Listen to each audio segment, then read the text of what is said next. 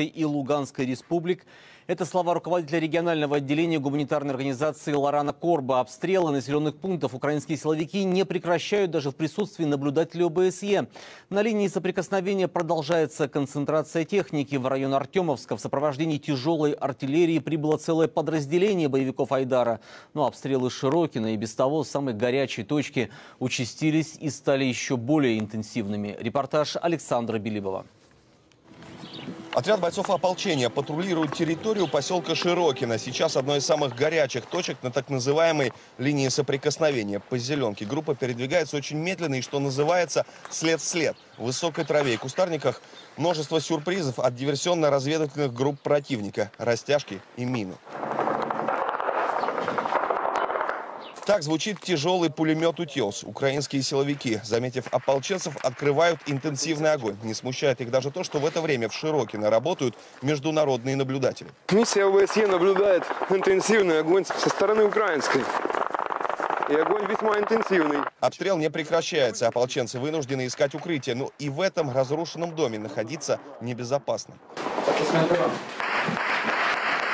Оказавшихся в ловушке ополченцев выручают товарищи по оружию, открывая по снайперским позициям ответный огонь.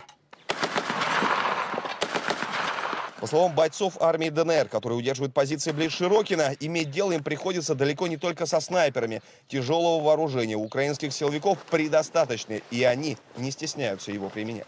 Тяжелые танки, саушки, Д-30.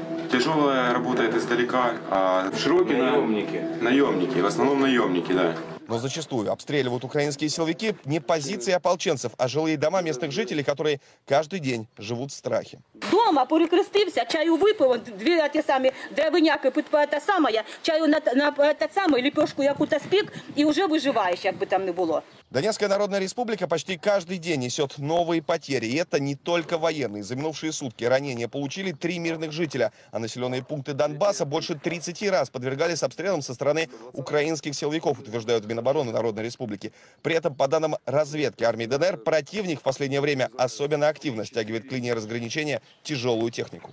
В район Артемовска прибыл лишь состав в количестве до 250 человек из подразделения «Айдар» и техника БМП. Уралы с готовыми артиллерийскими установками Д-30. В настоящее время вооруженные силы Украины продолжают сосредотачивать группировку войск для наступления. Так, разведкой вооруженных сил ДНР зафиксировано прибытие в район Красного Лимана, железнодорожного эшелона с РСЗО БМ-21 «Град», САУ, артиллерийскими орудиями, танками и другой военной техникой. Такая военная активность украинской стороны не случайно, замечают в командовании армии Народной Республики. Рост числа провокаций со стороны украинских силовиков и усиление группировки войск противника по всей линии соприкосновения здесь в ДНР однозначно расценивают как шаг далеко не мирный и добавляют в случае развязывания военной агрессии украинской стороной Донбасс готов дать противнику адекватный ответ.